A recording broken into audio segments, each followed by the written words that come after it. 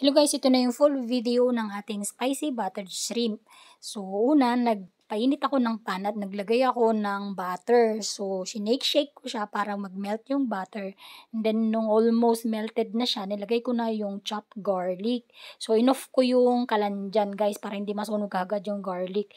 And then, nung lumabas na yung aroma ng garlic, nilagay ko na yung ating chili paste. So, gusto ko kasi sa buttered shrimp ay spicy. So, kaya naglagad ako ng chili paste para may twist. And then, nilagay ko na yung ating shrimp. So, 10 pieces lang yung ating hipon, guys.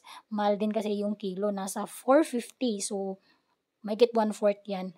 Naglagay ako ng asin and then black ground pepper. So, yan lang yung seasonings na nilagay ko sa kanya aside dun sa garlic tsaka butter. And then, ni-stir ko siya. Mabilis lang naman lutuin ng hipon, guys. So, make sure na finlip ko yung each side ng hipon para mabalance yung pagkakaluto niya tsaka mabalance din yung pag-blend ng mga sangkap dun sa ating hipon. And then, in-stir fry, in-stir fry ko at tsaka nagad ulit ako ng dagdag na butter para mas malasa at saka mas aroma yung butter at mas makapit yung lasa niya sa shrimp.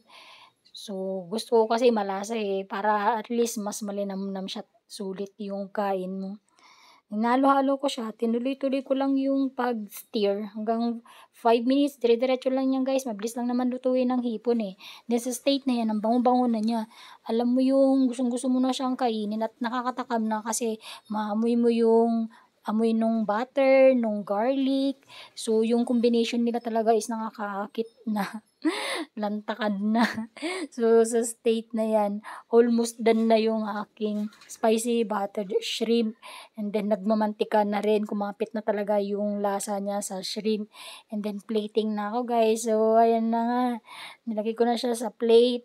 And then, syempre, binuhos ko lahat yung garlic dun sa shrimp at saka yung kanyang sauce na buttered. So, ready to serve na yan guys. At takam na takam na nga ako. Yan lang guys, yung aking spicy buttered shrimp. Kung kayo napapaibig kumain ito, try nyo ding magluto. Bali, ang costing nito pala is nasa, I think 150 kasi 120 yung hipon eh. May kasi 1/4. Yan lang guys. Until my next video. So, kain tayo. Thank you for watching.